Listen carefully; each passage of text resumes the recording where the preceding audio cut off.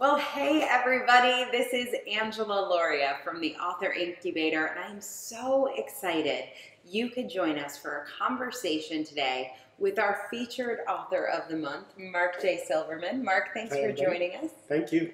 Mark is the author of Only Tens. I'm going to show it to you, but you probably can't see it. Let me show it to you times two. Maybe you'll be able to see it, or maybe it'll be all washed out. But trust me, it is called Only Tens. You can find it on Amazon. And in today's conversation, we're really going to talk about Mark's journey to making a difference with a book. And for Mark, really one of, I think, the most interesting and beneficial parts of the journey is that, like many people, he was very busy when the time came to write his book. Um, and like many people um, that we work with, he also faced the challenge of being distracted. Sometimes we talk about shiny object syndrome, so many amazing opportunities. Mark specifically has been diagnosed with ADD. Some of you may be diagnosed or not diagnosed, but we're going to talk today about how Mark was able to use distraction to actually get the right things done. And so I hope you will stay tuned. There are lots of nuggets along this journey. You will have the opportunity to really see from the inside. I know on the outside, things can look amazing. And there's this great line from AA where they talk about don't compare your insides to other people's outsides. So maybe you've seen Mark or another one of your friends or someone who got a book out in three months and they became a bestseller and they added $100,000 to their coaching practice. And you're comparing your accomplishments to that, um, to that shiny, photoshopped picture on the outside. Well, we're going to peel all that back and we're going to talk about the real journey and the real challenges. And Mark is part of our um, our series really exploring the authors who have worked with us who have made the di- the biggest difference with our message. And to each of these authors, we present the coveted um, Make a Difference Award. So this is our award to our authors. You probably can't see this either, but it will look lovely on your bookshelf. It's actually the shape of a book. Oh my God. I've been So- looking at that box going, I What wonder what's in there and I It's want whatever's in there. That, that's cool. That's, that, that's It's unexpected. Awesome. Thank you. I got to give you a hug. Oh my God. You know, I think that so many people feel like they want to make a difference with a book, but actually doing it and not just writing it, Mm. but getting it in people's hands and being willing to face rejection, which hopefully isn't what happens, but you have to be able and willing to accept that, stops a lot of people from making a difference. So we highlight our authors of the month to show what's possible, to show that you're you're not that different, especially a year ago, 18 months ago when you started this journey. You're not that different than the people watching. You just made a decision. Just a guy in a Hugo Boss suit trying to figure out how to sit on a Victorian couch in a castle. All right, so let's talk about where you were 18 months ago when we get on the phone for the first time. How did you come up with the idea to write a book? Where were you in your life? What was going on? So we really have to go back to how I got to where I was 18, years, Okay. 18 months ago, because before that I was a high-tech sales guy in the Washington DC area. Very, very successful, very high pressure, time consuming. You know, I had the, the two kids in the, in the big house and the you know, convertible sports car. And over time, what I realized... That's very cliche. I was, a, I was a walking cliche. I had a Lexus convertible. It was awesome. Nice. Uh, until it got stuck in the snow. Um, Um, but I, I, over time, I started to realize one of the reasons I was successful in sales is because I was helping my customers get where they wanted to go. I was helping them solve problems. I was helping them build their business. I was always always helping my colleagues in in, in, in helping their sales careers. That was my thing. Uh, when I started to realize that the wheels were coming off my nervous system being in that world, and I just I you know it wasn't what I wanted to do. Well, What, when you say the wheels were coming off your nervous system, was it the pressure of a quota or was it more like internal politics, bureaucracy, not being able to all of all all of of all of that. And it, but the other thing is also why I would write a book called Only Tens. It wasn't a ten for me. What had driven me for years was fear, fear of failure, fear of looking bad. So that drove me to become wildly successful in sales. When I was no longer cared about that, that juice to go do that was no longer there. I was much more interested in coaching my colleagues and getting their sales numbers up. I was much, I was always fascinated and, and into what my, my customers needed. So I did, was doing a lot of spiritual self-help work at that time.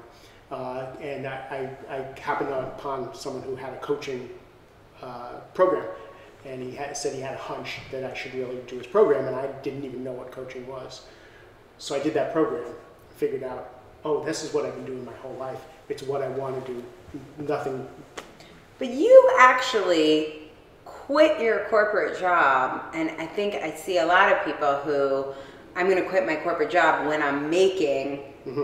what when I replace my salary. I think is the way I hear them say it. Yes. And I don't think you had replaced your salary. Obviously, it's harder to replace a DC sales guy salary than a dental hygienist in Idaho salary. But I don't think you'd come anywhere close to replacing your salary when you quit your job. No, I hadn't. I, in fact, I, I didn't have any paying clients.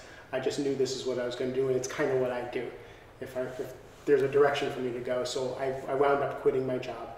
Uh, it was really cool. The company I was working for didn't. They said, please, while you're doing your training, stay with us through the new year. Uh, just kind of unheard of as a sales guy for them not to let you go.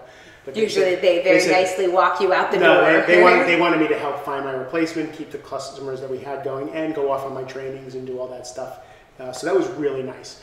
But I found myself, you know, I was a year into this coaching thing where I had left my job. I had a full practice, but I had a full practice of people who I wasn't charging the money I needed to charge to make a living and support my family and, uh, and my expenses because I really wanted to hone my craft. I really wanted to master this coaching and consulting world before I actually took people's money for it. Uh, the cool thing was, this moment I said I was going to be a coach, I had uh, six clients. Like six people came out of the woodwork and said, "Whatever you're doing, don't even know what coaching is. Want to be want to be your client. Uh, how much do you charge?" I'm like, uh, "I don't know, fifteen hundred bucks or something. like Yeah, something like that." So that was kind of cool. But that, but a year into that journey, I was really learning what my craft, learning what my message is, what I was doing for people.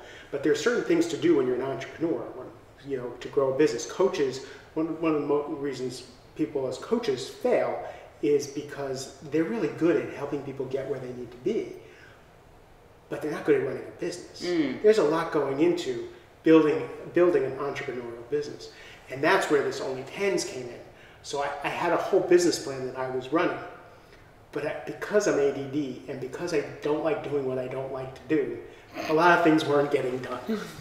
So I was working with my coach, uh, Rich Litvin, uh, who you and I know wrote The Prosperous Coach. Mm-hmm. And one day I Huge fan of that book, by the way. If you're a coach and you haven't read The Prosperous Coach, just get that and do everything in there. So I was talking to Rich one day, and I said to him, I know what my business plan is. I take my Adderall every day. I put on my ADD music. I sit down at my desk, and I'm not getting what I want done done. I just can't get it done. I don't understand. This is really bad because I've left my job. I'm living mostly out of savings, and I really need to grow this business. And Rich said that we had the bright idea. of, What if you used this distraction as a compass instead of a, a problem? And my tagline to that is I'd be living under a bridge, my kids would starve, and the whole thing would go down. He said, No more. One thing I know about you, when you really want to do something, you do it. When you wanted to run a marathon, nothing stopped you. You trained for and ran a marathon in a year without being able to run a mile. When you wanted to make a million dollars, you made a million dollars. And what about like, did you in your sales job? Did you have quotas? I had quotas. How often did you not hit your quota? Uh, not very. I almost always missed the first quarter of every year because I always had a really good year. Uh-huh. And I just didn't really care. And then like, yeah, But I- Q one. Uh, but uh, I had I, I had pretty much success every year, and I made a, a lot of money. so you had all this evidence that if you wanted to do something, you could. You clearly felt like you wanted to start a coaching practice. You quit your job, so there had to be, you know, with two kids. I, I know you take care of your mom, car expenses, house expenses. Like, you clearly wanted to make the coaching business work. Why the hell weren't you just doing it? because there were certain tasks that just weren't things I wanted to do. And there was also certain commitments I made with people that I that seemed like they would be a 10. Yeah. When that week after I talked to Rich, I went through everything that was on my list, everything that was in my business plan that seemed like, you know, they, they tell you how to build a coaching business. You need a website, you need to do this, you need to, you know, and partner with this person. And I realized that some of those things weren't a 10 for me. They were nine, they looked really cool. They sh- I should be doing them, but I wasn't doing them. And when Rich said you wanted to run a marathon, you ran a marathon, nothing stopped you. I said, you know, when the new iPhone comes out, I'm really busy. But I'm the first I'm the first one that has one. So I drop everything when I want to do something. So that started to give me a clue that, oh, I actually do accomplish whatever it is my attention goes towards and I want to do. So that week, I really spent time slowing down and paying attention to what I was accomplishing, not accomplishing, what I was saying yes to, what I was saying no to. And what I learned was there were boundaries that I didn't set, hmm. that, I, that I never thought of setting because other people's priorities uh, were mine. You, you, you mentioned in one of our other talks uh, the, the matrix of you know urgent and important. Mm-hmm. Stephen you Covey from you know, Seven Habits. I love right. that. So urgent uh, but important. And for me, everybody else's stuff was always up in that mm-hmm. corner, or avoiding a fear. So for me, one of the reasons I was always successful as a sales guy is because I didn't want to not. I did not want, want to get the the finger pointed at me for not being. So I was scared of not overachieving at the end. Everyone's done a good job except for Mark Silverman. So that was the ten for me. So that was what was up in so the. So why wasn't that working anymore? because again, I wasn't. It wasn't work. It worked in sales. It wasn't working towards the end because I just, you know, I was kind of like a baseball player who was moving towards the end of his career. Did I want to go into management? And because management is kind of a coach. That's kind of a coaching, really. But I didn't. I didn't like the pressure. You know, I love coaching managers. Mm-hmm. Uh, sales managers are fun because they got the pressure from the bottom and they got the pressure from the top, and I love helping them deal with that. But I knew I didn't want to be that person. Uh, so as I went through the week, I started really slowing down and learning about myself. I went, you know, I actually do know what I want to do. I do. I don't have a problem making choices and decisions. I have all these distractions that look like they're mine and they're not really mine. Mm. So I started playing with this for a week, then two, and I started letting things go. I started having conversations with someone, people, and saying, you know, I agreed to do this with you, and you're really important to me but I don't want to do this.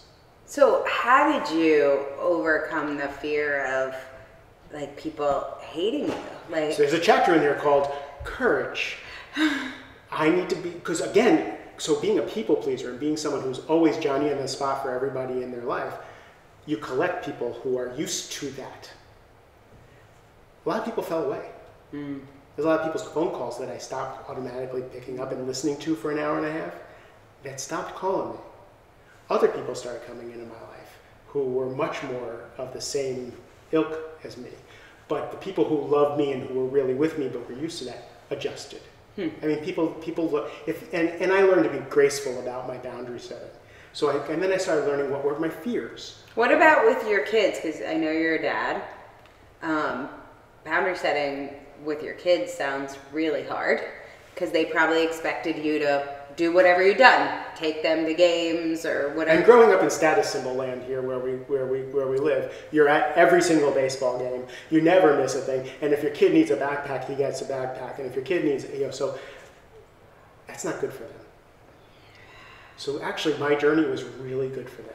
You know what? I'm going to be at two of your baseball games this week. I'm not going to be at four of your baseball games because I have I'm building a business. I have things to do, or I just want to go out and do something different. And that really started to shift uh, my relationship with people. I started getting like this, and it, it, it, the respect and the dynamic of the relationship really grew. Mm. All, all of these are unexpected byproducts of just trying to get my stuff done. Mm. So I, I, you know, using distraction to get the right stuff done. I just wanted to get stuff done, and what I learned was, oh my God, I do so many things because I think I should be doing them, mm. or because I don't want to look bad, or because of fears, or avoiding fears. That I started slowing things down and seeing the thought processes and, and, and starting to be able to parse them out. So then I started getting room and mark, and my personality started growing so that I knew who I was. I know what I want to do. I know what choices I need to make. I know when I need to say no, and I know when I need to say yes. And I know when I need to say yes to something I don't even want to do because that person is a 10 for me. You know, I'll, I'll, I'll go, I'll, I will help you because I love you and I care for you and I really uh, value this relationship. But I don't want to do whatever it is this is. So I started learning those things. That's when the book came in. All right. So how did you get the idea? I want to write a book. So, so the you know, a couple weeks later, I was talking to Rich, and I said, "This is amazing. I am getting so much done. It is. I'm blowing my. I'm even paying my bills, and you know, keeping. I'm doing all this stuff, and my, you know, I actually got clients that week, and it was really cool. Uh, I said, I think I'm going to write a book. I really want to get a PhD. I'm going to spend the summer. My kids are going off to the beach with their mom. I'm going to get a PhD in this subject matter of learning Mark. And, and I'm going to write a book. And uh, Rich said, That's a great idea. I think you should write a book. Uh, and then I went for a walk with um, Robin Thompson. Your, Which was total coincidence. You Total just happened to meet someone on had- my team. and we, and we both have black dogs, so we went for a walk, and I said, Robin, I just had an idea. I want to write a book. And he goes, Funny, you should say that. You need to meet Angela. And I was like, Okay, and told me about it. We talked like a week later.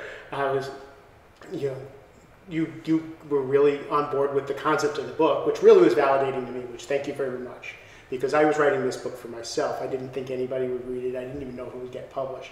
But your excitement and your focus on what it is I was talking about really helped me go, yeah, I'm going to write a book. Now, before this moment where you get the idea to write a book, had you ever thought about writing a book before? Uh, people have told me for years I should write a book about my life. Okay. And I don't want to write a book about my life. I kind of want to hear it though. But um, we need to talk about that off camera. So people would say to you, you should write a book. And what was your thought when people would say you should write a book? Like that's never going to happen, or I, how would I ever write a book? I can't even get my bills out the door, even though I have the money. right? How am I going to write a book? Uh, so yeah, no, that that I didn't know how that was ever going to work. I, was, So- I, I actually thought of a shadow writer or something. Oh, uh huh.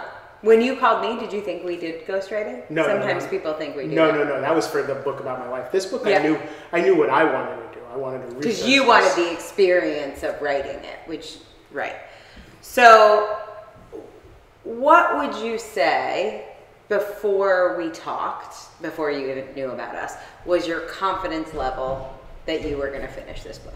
So, given that it was only a day, Yes. seren- serendipity Crazy. was like that. Um, my confidence level was I was going to have a Word document that was going to be really useful for me.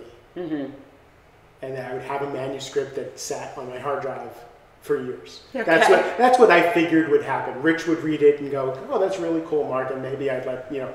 But I also, you know, I, I it, not, it was really hard to let people see what I wrote or my artwork or anything like that. So the thought of writing a book and putting it out in the world and saying I'm an author, that's a little daunting. Mm-hmm. And not something you would always imagine for yourself. You didn't see yourself as a writer. No, I didn't see myself as famous and, and a writer and a speaker and all that stuff. And now I'm on stage and I wrote a book. And so, so that whole 18 months later thing is really kind of interesting. Right. So you made a decision pretty quickly. I mean, I think we were on the phone and you were signed up. It was definitely within an hour. You said 15 minutes, somewhere in there. We Take like, my American Express, You're like, take my American please, how do I give you my money? Um, what three months later you had a book? What were those three months like for you? Was it all super easy? You signed up, you gave me your money, you had a book. It was. So I ignored. I we talked about this before. I ignored the instructions for the first month. How'd that work out for you? I have ADD. Uh, you said all the instructions are in this folder. Go read the instructions. And I couldn't find. You know, I called my editor and I'm like, "What instructions?" Where? Mark, they're in the folder right here. So that gave me two months. okay. Um, and we talked about that because my mother had moved to town, uh, my elderly mother, and there was a lot of things going on at that point. But I will say though, because we're laughing now in retrospect, and I remember all those moments. You were never, you never said this book isn't happening to me. You know, whenever you would say I can't find the files, it was like I'm behind. I got to catch up. My mom came. I didn't expect her to. What do I do right now? Yes, There was never a, I don't think this can happen. Can I have my money back? Uh, this was too hard for me. I have ADD. You would say I have ADD, but it was like, I have ADD. You have to tell me again where that file files, is. yes. And Kate, you know, I have shout out to Kate. She's amazing. The, that woman held my hand and went, okay, come back here. Mm-hmm. It's right here, you know, and, and so that was really, really helpful. But again, it's a compressed amount of time to do something that's pretty daunting that people, most people won't get done in their lives. So for, for me, the process of sitting down, writing a thousand words, ten thousand words, whatever it was that day. Because you said how many words a day do you write, and I'm like, I don't know, and I'm never going to find out. Because some days I'll sit at the computer for two hours, and some days five minutes, and I'm you know off to feed my fish. Um, but going through the summer, having the weekly calls, having my cohort of people that I was writing book, a book with, because we had other people who were also, you know, putting on the Facebook page, I can't write today, I can't write a book. I, you know, that was so. and everybody was writing their own book. So Yes. you, because I know you also did a compilation at the same time, but Oh, that that. that right. But these probably- authors were each writing their own book, totally individual journeys, and yet so many similarities. Like so many similarities, and and and I could see in them that they were going to be fine. They could see in me that I was going to be fine, but I couldn't see in me that I was going to be fine. You know, I was absolutely sure that I was the only. You said I have never had no somebody not published, and I'm going to be the guy. pretty sure it's going to be me. and uh, and and you know, especially as we got closer to the date. So you know, great, I had all these great chapters and all this stuff, but I had no idea how they should go, and you know, where everything. And you know, and Kate would say, "Okay, Mark, I need you to finalize these things and tell me these are good." And I'm like, I've never read a term paper a second time. I write it and put it in. So you know, so I had to have a team of people who would look at my stuff and decide whether it was good, and, make, and then go back and make edit. Again, having ADD, you finish something, you want to be done with it. I don't like There's a new squirrel to chase. There's fish I to be fed. not- There's know, dogs to be walked. I was done with my book the week after I said I was going to write a book. you know, so so getting it to the finish line, that was that was to me, a- I have to say, a bona fide miracle. Going to getting to the finish line, like that day when that final proof comes back and the cover's done and the chapters, and it, even though it's a PDF, it's a book. And that sense of accomplishment to me was worth it. Like everything just disappeared, and my product was right there. I wrote a book. Hmm. Whether it's good or not, who knows? But I wrote a book. So, throughout the three months for you and for everybody, by the way, there were many obstacles. I know you had some family obligations. Obviously, we've talked about some of your ADD challenges.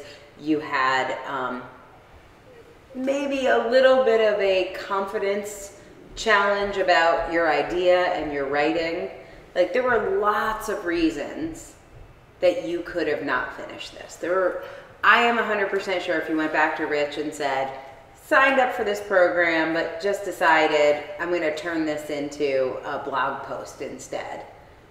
Like, the world would have kept spinning on its axis, right? So there's plenty of ways you could have gotten out of this. Why do you think you were able to finish? And yes, I know some of that was the group and my coaching and Kate and like some of those factors, but just internally, why do you think you were able to stick Because of the process of only tens, I, had, I had pared everything in my life down to three things. I had a presentation to give in front of a few hundred people in September. And it was, it, to me, it was my, you know, my several, uh, I talked about being, trying, working on mastering my craft over two years, working as Rich's apprentice for two years. And, and it, to me, that September when we published was going to be my time where I said, you know what? I am now a professional coach. This is now my profession, who I am, what I do in the world. Uh, I'm no longer just, I'm always a student, but I'm no longer just a student and a sponge. I am now where I need to be. So September for me was going to be uh, doing this presentation, which I spent all summer working on, which part of the presentation was learning the guitar, playing the guitar, and singing on stage for the first time because I don't sing in public. Uh, so I was learning the guitar. At this, so it's a lot of creative stuff at the same time, and and writing this book. And I had one other ten, and now I don't even remember what that was. But I, I pared it down to three things that September for me was just going to be huge. And even if I flopped, if the book, and I also decided if the book flopped, Hmm. if I flopped on stage, because I'm sure I was going to flop on stage, what I was doing was crazy, uh, that didn't matter to me. These are my tens. I know they're my tens because I, I, I know my process and I'm going to do them. So that's what got me. Were there, okay, so uh, you make it sound super easy, but what happens when you say the, the book and the speech are my tens and then your mom gets sick or there's a car accident? And my mother was my mother Right. was sick during that. Yes. So so let me tell you this. It's twofold there. So the, the first the first the first point is it actually is super easy when I start to cull away a lot of the other stuff. So much is so much easier when I get rid of the what I call false tens and the distractions and the things that aren't real in my life. That makes going through the tough thing, like running a marathon when my knees hurt and my back hurt, or writing a book when, when I bring my mother to town and she's in a health crisis in a new place and freaked out. And I have to I have a deadline of this book.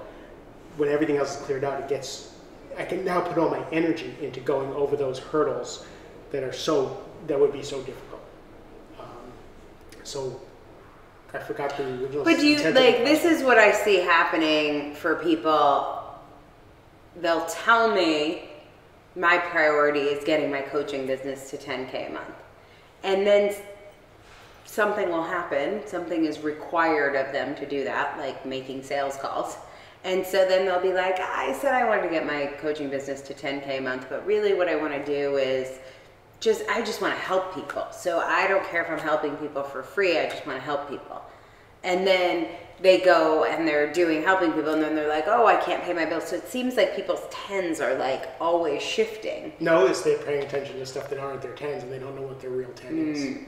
They don't know what the real ten is to get them through. So for me, I know that I'm gonna I'm gonna blow through my numbers as a sales guy because I don't want to look bad at the end of the quarter. I know my ten is looking bad. It's not making the sales. It's not the nice car. Mm. It's not looking bad. It's not telling my wife, "Oh my God, I didn't bring home this amount of money this this time." That's my ten. As that shifts, and I'm less of a people pleaser, things are different. But that person who said, "I want to get," you know, that's that's an eight. You know, I want to get my thing to, you know, right. I want to. How do I know writing a book was a ten? Yeah. It got done.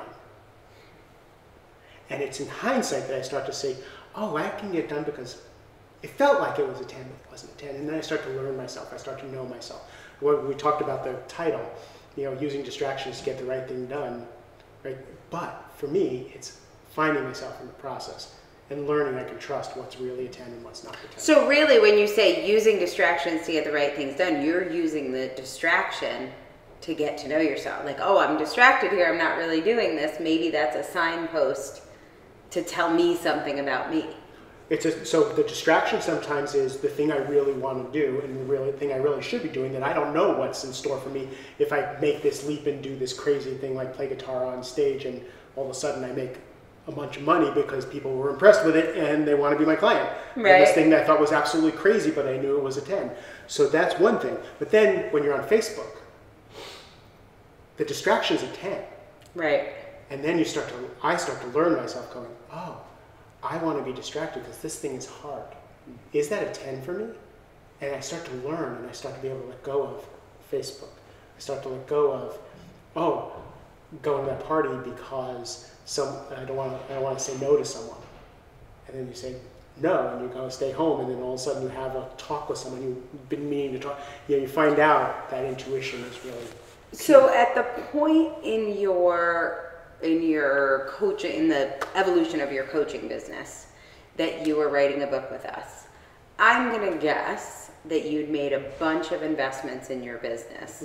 Certainly in working with a coach and getting certified in our program, maybe in a website or an assistant or some other things. You probably made some pretty big investments. Hundreds of thousands of dollars. Okay, that's a big yes.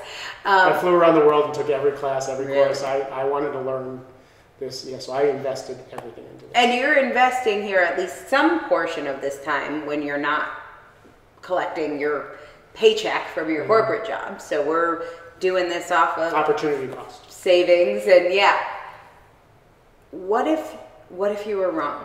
I think the fear of I've wasted this money or the fear of like um, what's the sunk cost fallacy right like i've invested in this coaching mentor or i've invested in this apprenticeship or i've invested in this certification or this book writing program what if i'm not supposed to do this what if something else is a 10 what if i get to know myself and i find out i'm supposed to be a i don't know river engineer So you're asking a much deeper and bigger spiritual question. Uh, for me, through the process, that went through my mind all the time. What the hell are you doing? This is crazy. This coaching business is crazy. and you're pretty You good know, at software sales You know, what, what, what you know, what, what, you know, the question of what, you know, are my kids going to be destitute? You know, like, am I, is, is something that, but that's also part of the mastery that makes me a good coach, is I know what's the squirrel cage and I know what's real. And if the less I spend paying attention to the squirrel cage, the false tens, the things that are taking me off purpose, this whole thing still could fall apart. Every day could fall apart. I'm starting, you know, to learn that it doesn't really matter. Who I become through this process, I wouldn't trade for anything. that's it If I was destitute tomorrow, and I don't plan on being, Right. but if I was destitute tomorrow, this journey was the exact journey I needed to make, and I love who I am, where I am, what my life looks like. That was worth every penny. See, this is the thing. I think that people get so afraid of making an investment in doing a book with me, making an investment in coaching with you, making an investment in their business because what if they're wrong? And it's like at the end, when your book is finished, we might find out it was the wrong book. Or at the end of a year of coaching with you, I might find out I shouldn't have invested in you. There's no way that can happen. The decision happens up front. Like the decision is, I'm going to write this book and it's going to be the best thing I ever did. Whether it gets published or not, whether anyone buys it or not, whether there's a thousand bad reviews and one good review, like no matter what you decide ahead of time, this is the best decision you ever made. And that's what makes it the best decision you ever made. I like that. I like that a lot. So I see so many people who are afraid to look. They see a process like only tens versus a process like Stephen Covey's highly ha- uh, or, or getting things done, David Allen, and they're like, oh, I want to look at this external process. I just want to like alphabetize my folders um, because that feels really safe. But the only ten And that's why they sell millions and millions Right. and millions of dollars. And pro, you know, people go from program to program to program because they haven't done the internal work. What I consider it is, you know, we could. I in my in my practice, I have lots of exercises for people to do. I have lots of hacks that they can do. I have, you know, people use alarms to get things done, or you know, I. But it's playing whack a mole. Mm-hmm. And until we get down underneath and go up, you know, go or go upstream and, and, and, and deal with what's falling into the river rather than trying to get everything out of the river, it's just playing whack-a-mole and it's exhausting.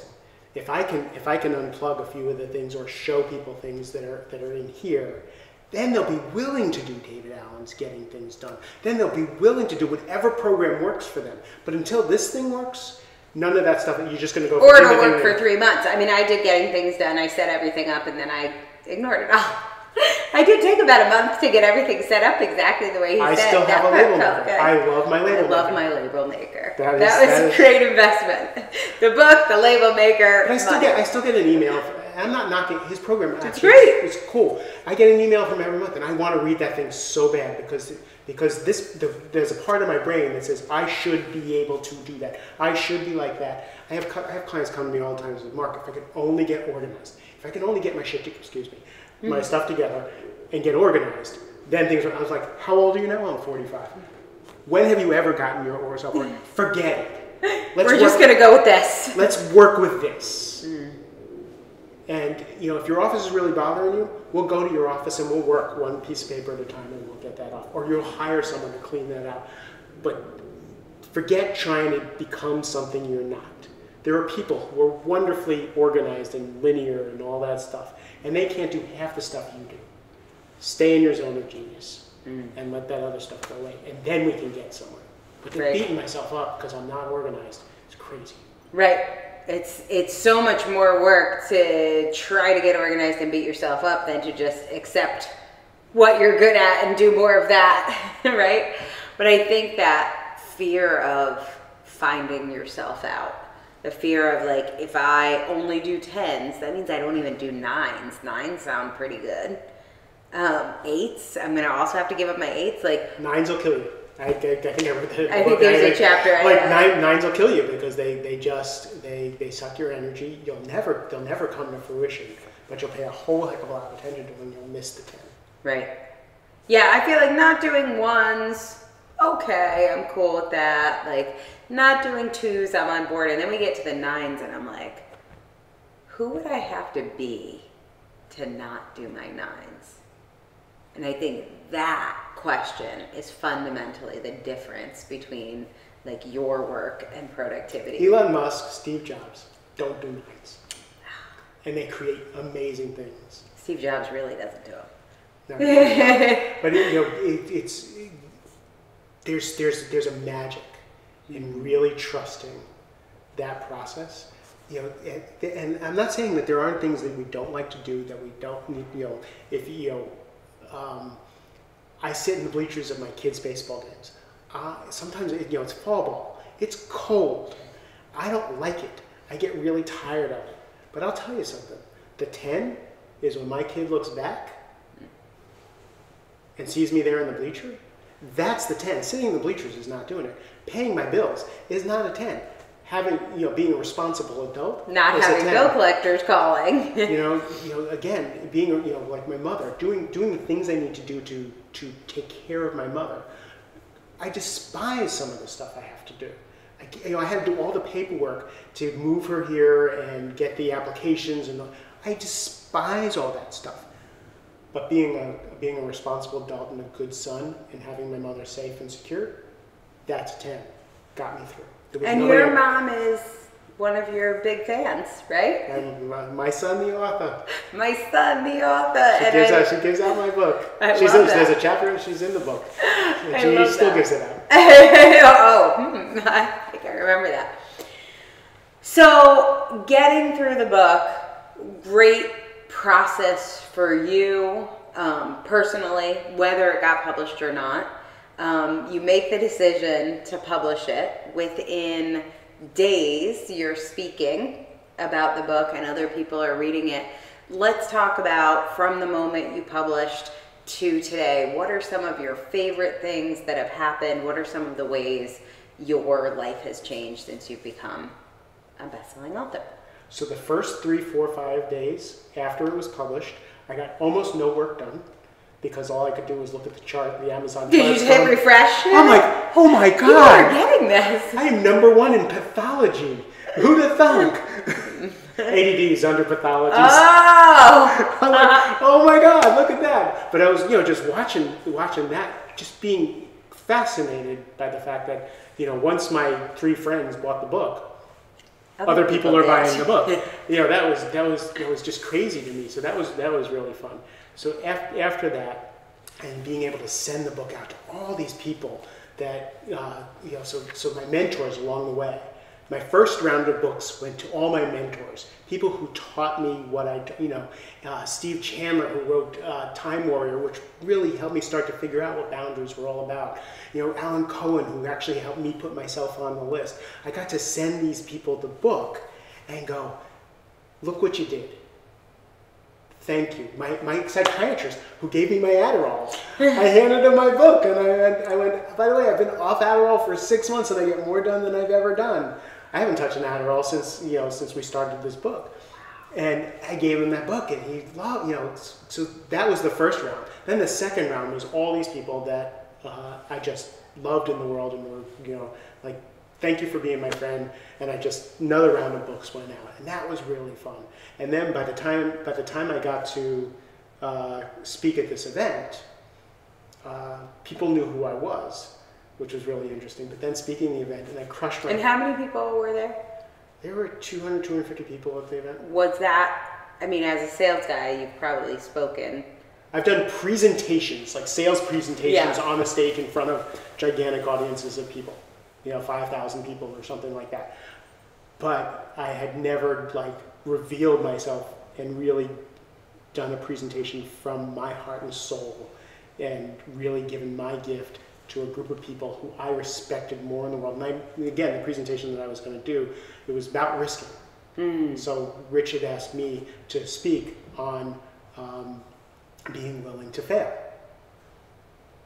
And I, instead of talking to people about being willing to fail, I decided to do something. So what I did was I decided to learn to play the guitar and sing on stage. And I don't sing in public. And you've never played guitar before, either, No, right? Like this was. so this was three months. This was just about the time we started the book. So I recorded myself learning to play the guitar, and uh, so I put that when when I did the presentation. I did a presentation on fail. I said, "Now I'm going to go first. We're going to ask you to go out and fail, but I'm going to go first. You know, and I and I played the montage of me learning, and it was people were rolling on the floor. I didn't realize it was a comedy. no. And uh, you know, before I started, I got my guitar out, and people were like ready to go. And I said, you know, so how many people think I'm gonna be great? And a bunch of people were saying, how many people think I'm gonna suck? And my answer to that was, it doesn't matter. This was my ten. This is what I want to do, and I am going to be willing to fail in front of you. I sucked.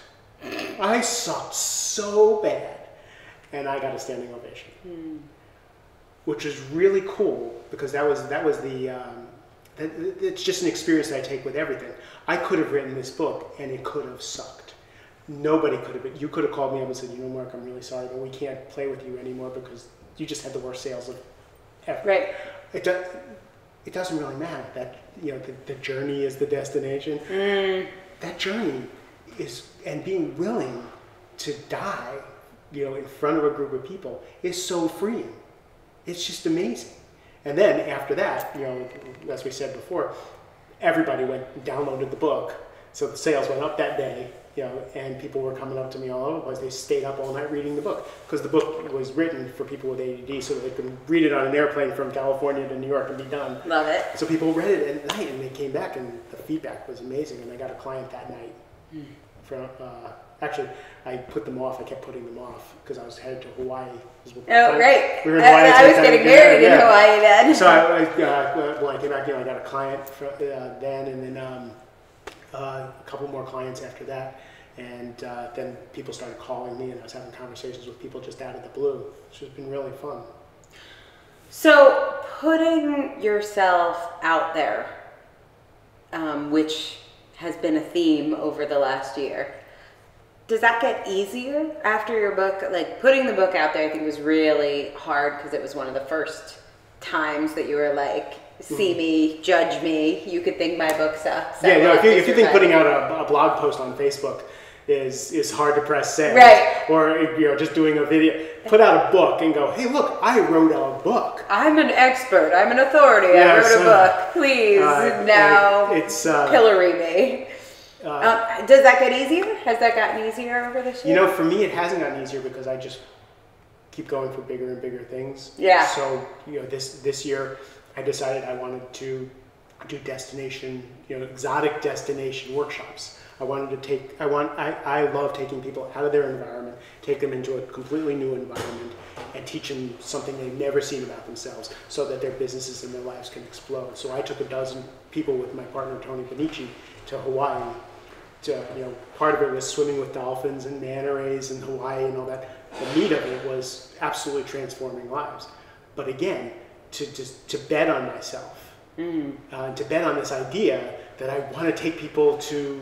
Uh, to Hawaii to do this. When people said, "No, you should do it in the Holiday Inn on the side," Right, of I'm the, you know, first do it first do it this way. I'm like, it's kind of not the way I roll. Right. And then when, when I was standing on the bow of the boat at night after after my people, it was Ironman, so there was no other boats out on the water. We were out at night, you know, looking for manta rays, and they were all my people were out in the water in the middle of the night with no other boats. And I was standing on the bow watching, and I was just like, I decided to create this. I put it out in the world, and it could have failed, and nobody could have showed up. It could it could have been bad. People could have gone all the way to Hawaii and said, this was crazy. This was a waste of money. Instead, they told me it was the most transformative experience they've ever had in their lives, and their businesses are going to explode from this. That was huge. So, of course, the next thing was, oh, this same person that I worked with to have people out on the ocean is also does excursions to the Dominican Republic to in, in a whale sanctuary. We're going to get on a houseboat for four days in a whale sanctuary and do this. And my mind goes, you crazy? Get back to the Holiday Inn. Right. How are you ever going to get people to sign up? What if it's terrible? What if. But, but no, that, you know, this. If I'm really going to follow my tens and my intuition, that's happening. Right. Here's, I think, the big takeaway if you're looking for it to get easier. Like, newsflash, it doesn't get easier. And right now, the houseboat in the Dominican Republic seems hard. A year from now, I get you back on this couch, and you're gonna be like, oh yeah, houseboat, totally not hard. Here's what I do now. We have our own whatever, private jet line. It's a, and that feels really hard. I remember having a conversation with a personal trainer. It was the first time I hired a personal trainer, and I bought a three month packet. We worked out in Reston. And I used to, like, Monday and Wednesday before work at 7 a.m., we'd go work out. And I bought this three month packet, and it was two and a half months in. And I'd been thinking this for about a month, but I finally got the courage up. I would do my whole workout thinking, how am I going to say this to this guy?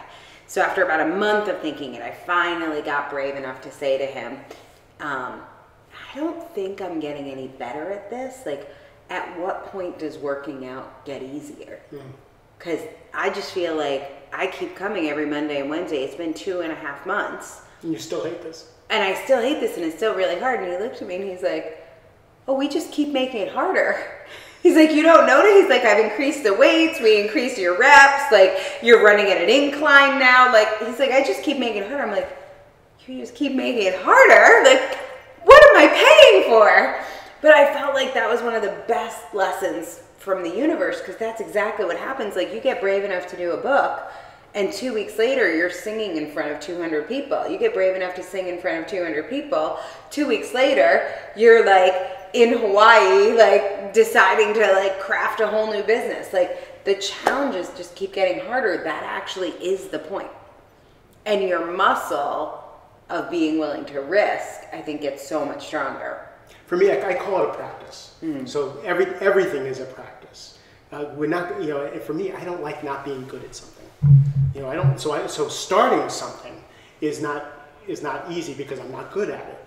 Uh, so I'm learning that the, the whole thing is a practice. Now, from the executives that I coach, a lot of the principles in the book really work well because the a lot of my executives gets they're really good at what they do, so they get stuck in the weeds with their team and solving problems and, and really fighting fires. And my job is to help them to get strategic. So mm. how do you know, because being strategic is a 10. What is the 10 for the organization? But the organization is running at a million miles an hour. How do you take your team out of the out of you know, into the field? You know, just so they can reset, so that you're getting upstream and keeping people from falling into the river rather than having to take them out of the river downstream. So, teaching them to have difficult conversations, setting boundaries, turning off your phone for one hour to do that to you know to do and again stephen covey talks they all talk about it but that internal fortitude to that, that you're worth it and your mission in your corporation is what you are the vp of it for a reason because you need to set strategic direction. So you you- it's your job to take time off to mm. set direction. And how do i get people to get that they're worth whether it's their worth personally or their worth in their position, is that's what they're supposed to do. You let those other people fight fires. It's it's know, so that's that's the constant battle for me with people, no matter what level that they're at, whether they're it's in their home life or in their business, and you know they can be the CEO and they're still washing bottles and you know it's like no, you're supposed to be doing this. You're doing your people a disservice by helping them wash bottles. You need to be up here. Hmm. Love it. Totally love it. Coming into our last few minutes, I want to give you an opportunity to give some advice to people who might be thinking about writing a book, thinking about starting a business, thinking about another goal. Um, let's talk about for you was the investment of your money, time, energy, heart, soul, all of that. Um, was writing a book worth it for you? Absolutely perfect, easy to answer, no question. Return on investment. Uh, return on investment personally, overwhelming. Return on investment financially, uh, probably 10 times over. Okay. Um, what this is my favorite question I get from people when I'm uh, interviewing them to see if they're a fit for the program. I love it when people ask, um, "What what can you do wrong in the program? Like, what is a way that people might fail?" so I, do what I did and don't uh, don't go to the folder that says start here. There's a folder that says start here. Literally. Do these things. If you do these things, the next three months are going to be so much easier for you. I missed that sentence. But. I love that. It, but is that true? Because you finished. So so, what does it take to Quit. succeed? So, it- Yeah. go or what does it take to fail? If Yeah. you're going to fail, quit. Right. Don't don't trust you. Don't trust your editors. Don't trust the process. Quit. Uh, that would be uh, the only way to fail. If if you just surrender to the process and to the people who are supporting you in this program, uh, the, the other way to fail is to is to write the book and take a year or two to write the book. There's a very it's a very rare person. There are people who write books. They're just opuses and they're beautiful and it took them ten years to write. Um, but that's their book to birth. Right. If you want to write a book and get an idea out, having a having a publish date, the book's in you. You you actually said that. The book is already written. It's already in you. You just need to let it out. And it sounds so new age. Right. But having a deadline, the book just has to come out. And I, and trusting that is is the way to get it done. what is what's next for you what do you want to share for people share with people if people want to find you if they think they might want to work with you they already know only tens on amazon uh, we'll make sure you all have the link to that but what do you want people to know about you and how do you know if somebody's your person Hmm. So what I want people to know about me is uh, that this, this whole process only tens. that the book is, is not a, it's not a time management book. It's not a getting things done book. It is a book about self-discovery, and if we really slow down, we'll figure out who we are. It's part of my practice, and it doesn't matter if someone you know works at Starbucks or is the CEO. Uh, the process is the same. If you want to, if you know, a lot of my clients are up leveling their leadership skills top level leadership skills is not going to a class that tells you how to speak like a leader better.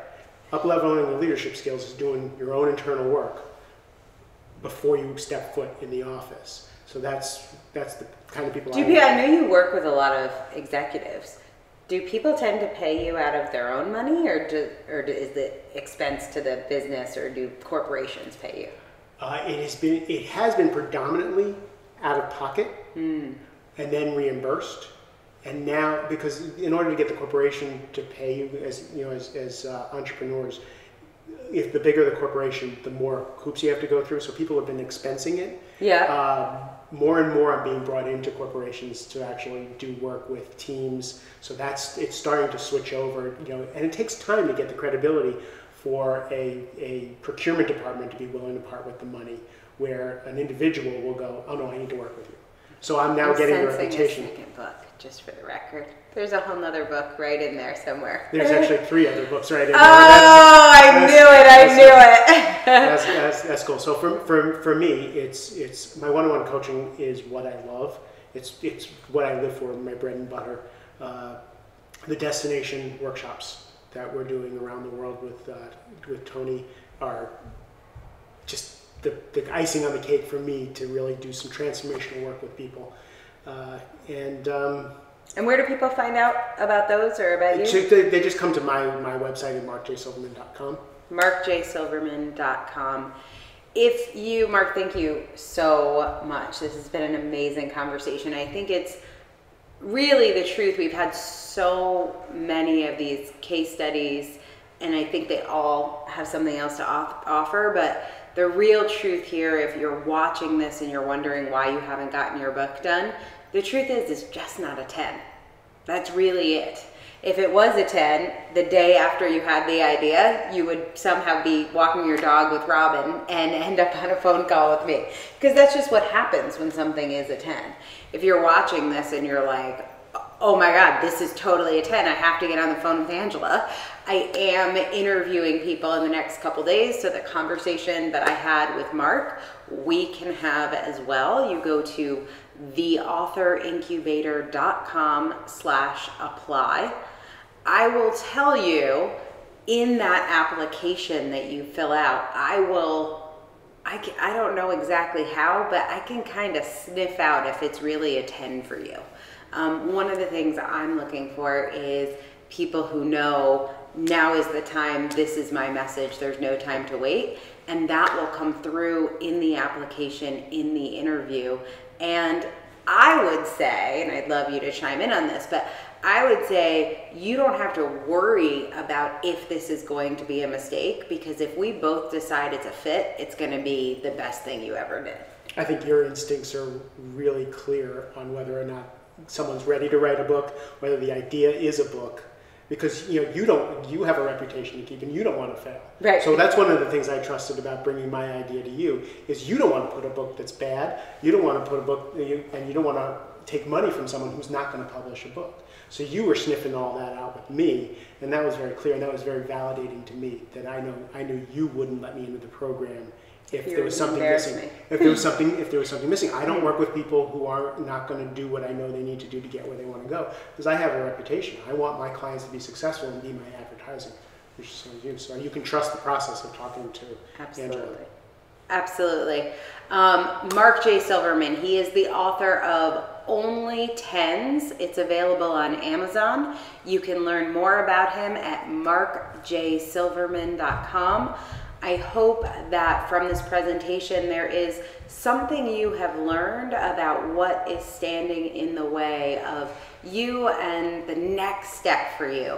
I've watched over the last 18 months as Mark's business has gone from something new and sort of nascent to something really exploding and incredible. Um, the return on the investment financially is awesome to hear, but the real return in the way he has stepped into the next level, the way that he has become the person who his clients are begging to work with, that to me is what this is all about. That is how he changed the world, one book at a time.